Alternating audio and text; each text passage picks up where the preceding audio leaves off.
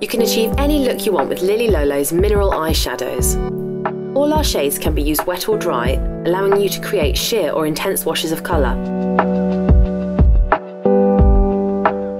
To apply, take our eyeshadow brush and sweep the shade across your eyelid, gently pressing and blending as you go.